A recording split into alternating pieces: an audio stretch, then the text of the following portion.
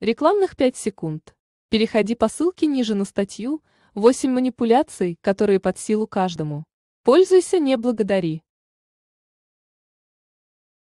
Борьба с пигментацией может быть очень долгой и непростой, особенно если справляться с ней без привлечения специалиста. Мы уже много раз говорили о том, как правильно работать с поражениями кожи, однако многие женщины совершают одни и те же ошибки, которые лишь усугубляют проблему. Сегодня мы расскажем, как точно не стоит бороться с ненавистными пятнами. Без консультации специалиста. Если вас беспокоят едва различимые пятнышки, вы вполне можете бороться с ними домашними средствами, не боясь получить неожиданный результат.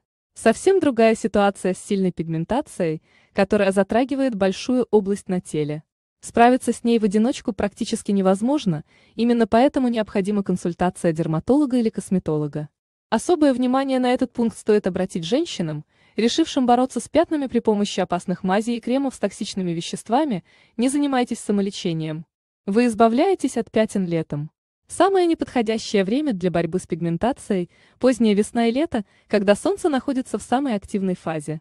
Меланин вырабатывается с удвоенной силой под воздействием ультрафиолета, что приводит к ухудшению ситуации с пигментацией. Если косметолог предлагает сделать пилинг в середине лета, обещает избежать побочных эффектов, вежливо отказываемся и ждем осени. Не занимайтесь самолечением. Фото www.unsplash.com вы используете агрессивные средства. Не секрет, что сильная пигментация требует тяжелой артиллерии, призванной бороться со скоплением меланина, однако увлечение химическими пилингами и всевозможными кремами, содержащими отбеливающие компоненты, может привести не к осветлению кожи, а к ожогам, с последствиями которыми вам придется бороться дополнительно.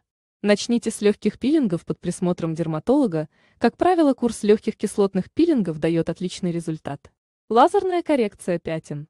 Конечно, в некоторых случаях лазер – единственная возможность справиться с сильным поражением, и все же важно соблюдать меры предосторожности, так перед первой процедурой убедитесь, что ваша кожа не отреагирует на механическое повреждение новой пигментацией.